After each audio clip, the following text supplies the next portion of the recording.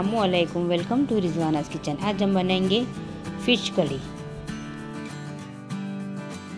मच्छी का सालन बनाने के लिए। देखिए, मैंने ये लंबी वाली मच्छी ली है। इसको हमने साफ़ करके अच्छी तरह धो लिया है। देखिए, एकदम मस्त हमने इसको साफ़ कर लिया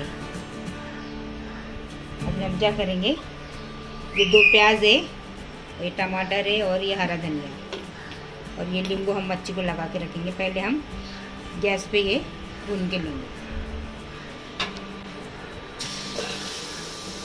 प्याज को पहले हम भून के ले लेंगे? तो भूनने तक हम मच्छी को नमक, हल्दी लगा के रखें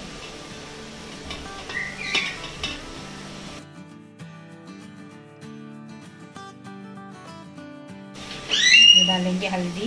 लाल मसाले वाली बनाएँगे हम। एक चम्मच इसमें हल्दी डालेंगे। नमक डालेंगे।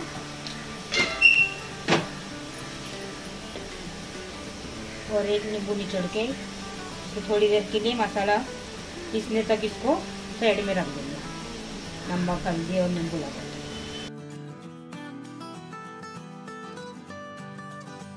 तो ऐसा ऊपर नीचे करके रख देंगे हम साइड में। ढक्कन डाल के इसको हम रख देंगे साइड में। और सालन बनाने के लिए हम दो प्याज को भून कर लेंगे और भुनने के बाद प्याज को पीस कर लेंगे। टमाटर डाल देंगे हम पीसने के लिए और इतना हरा धनिया। इसमें डालेंगे हम तीन चम्मच कोपरा पाउडर। अभी हम गैस बंद कर देंगे। ये प्याज को मिक्सर के बर्तन में डाल के इसको पीस के ले लेंगे पीसने के बाद मैं आपको बताती हूँ मसाला हमारा पीस के हो गया है। अब गैस पे मैंने कढ़ाई गरम को रख दी है। कढ़ाई हमारी गरम हो गई है। अब हम इसमें डालेंगे तेल मच्छी का सालन बनाने के लिए। एक, दो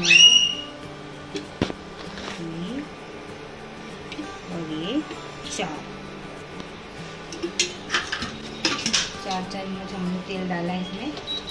गैस को थोड़ा हम फास्ट कर देंगे। इसके अंदर मैंने लहसुन अदरक नहीं डाला था पीसने में, क्योंकि मैं लहसुन अदरक पीस के पहले से ही घर में रख देती हूँ। तो अभी मैं इसके अंदर लहसुन अदरक भी मिलाऊँगी।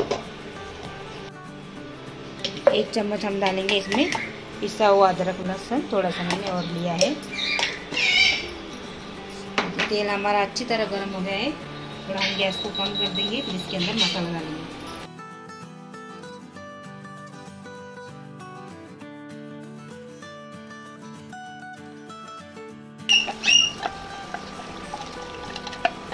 मिक्सर के बर्तन को साफ़ करके पूरा मसाला हम इसके अंदर डाल देंगे। अभी हम मसाले को थोड़ा भून के लेंगे। ढक्कन ढक के हम इसको थोड़ी देर पकाएँगे, फिर इसके अंदर हम लाल मसाला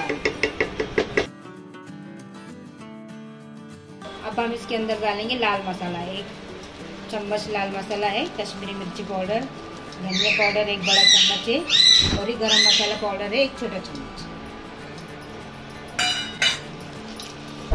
अंदर हम थोड़ा सा नमक भी डाल के मसाला अच्छी तरह पका लेंगे। जब तक इसको तेल नहीं छूट जाएगा, तब तक कि हमको इसको पकाना है और इसकी अच्छी सी खुशबू आनी चाहिए मसाले की। कच्ची स्मेल सब चली जानी चाहिए, तब तक कि हमको इसको पकाना है। बाद में हम इसमें मच्छी डाल थोड़ा सा हम इसके अंदर पानी डाल के और ढक्कन ढक के इसको पक लेंगे।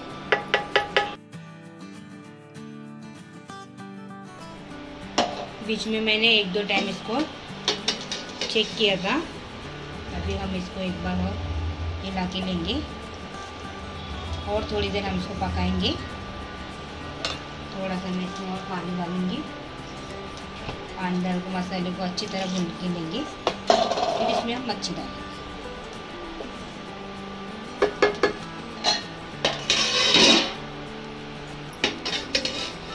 मसाला अच्छी तरह पक गया है, अभी हम इसमें डालेंगे मच्छी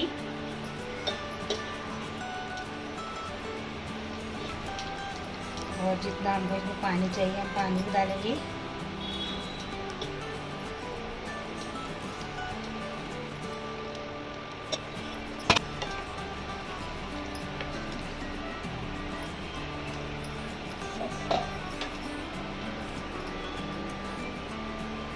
इतना पानी मैं इसमें पूरा डालूँगी। जितनी ग्रेवी चाहिए वो हिसाब से हम पानी डालेंगे ज़्यादा पतला भी नहीं ज़्यादा गाढ़ा भी नहीं। और उसी पानी के अंदर हमारी मच्छी भी अच्छी तरह पक जाएँगी और हमको जितनी ग्रेवी चाहिए उतनी मिल जाएँगी। थोड़ा सा पानी हम इसके अंदर और डालेंगे क्योंकि अभी मच्छी भी पकना है ना इसके लिए। ढक्कन ढाक के हम इसको पकाएँगे।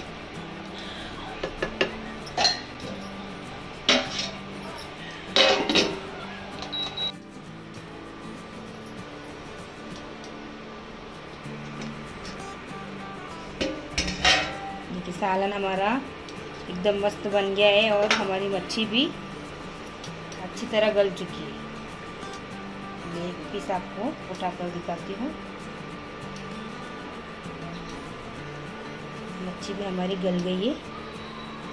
ये देखिए, अभी हम कर देंगे गैस को बंद। अब हम डालेंगे इसके ऊपर कटा हुआ हरा धनिया। पहले गैस बंद कर देंगे। मैं आप लोगों को एक प्लेट में निकाल कर दिखाती हूँ। मछली का सालन हमारा बन के तैयार है। मैं आप लोगों को भी इसको एक प्लेट में निकाल कर दिखाती हूँ। एकदम मस्त बना है हमारा सालन।